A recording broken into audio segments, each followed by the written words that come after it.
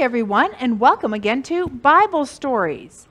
Now, our story for today is found in the book of Matthew, chapter 7, and it's about some builders. Now, the first one was a wise builder, and his name was. Oh, hi, I'm Zach. Right. Nope, that's not it. That's. Ah, there it is.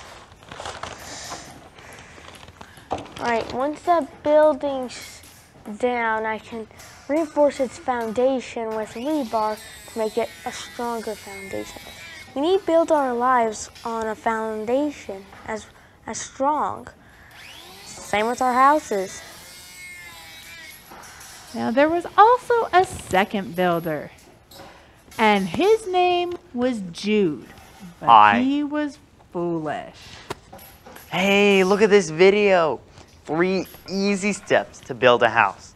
Perfect. Oh, Jude, don't bring me down. Huh? Uh, Never mind, narrator person. Uh, yeah, three easy steps. Let's see. Uh, first step find a piece of land, a level piece of land.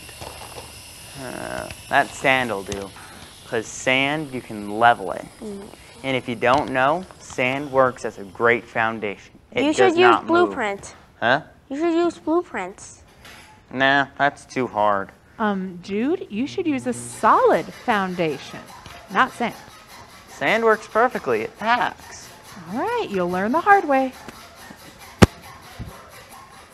Hey, look at this sign. Caution. Hard hats required. Huh.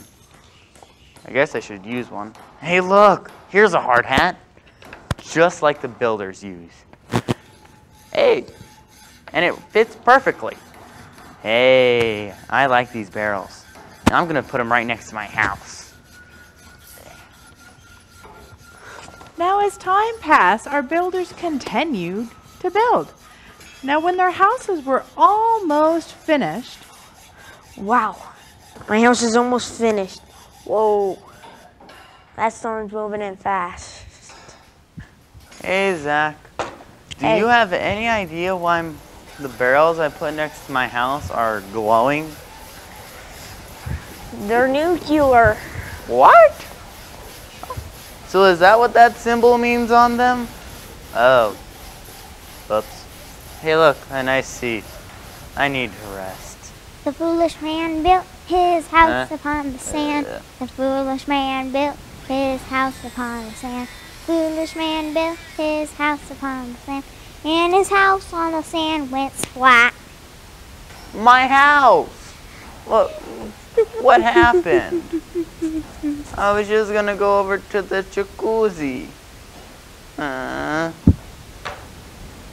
now there's a good lesson we can learn from this. Yes, we need to build our houses on a solid foundation, but even more importantly, we need to build our very lives on a solid foundation. And the only solid foundation is Jesus. He offers us love, forgiveness, worth, promise, and eternal life. So, as you go throughout this week, remember, build your life on the foundation of Jesus Christ. I should have asked Zach to teach me how to make a strong foundation. And I should have listened to you, narrator person. Well, I'm gonna go ask Zach to help me with that. go ask now. That's what I'm gonna go do. Zach, can you show me how to make a strong foundation? Now, our Bible verse for this coming month may look familiar to those of you from VBS. It is Philippians 1 6, and it says, I am sure of this, that he who started a good work in you will carry it on to completion until the day of Christ Jesus. Oh, and that is good news for us. Let us pray. Oh, Heavenly Father, I thank you for today, and I thank you for everyone who's here and everyone watching. My Lord, I thank you for this very fact that you, who started a good work in us, will carry it on, that you don't stop in the middle. And I thank you that we can build our very lives on you as our foundation. Oh, it's in your wonderful, precious name we pray. Amen. All right, everybody. Until next time, bye.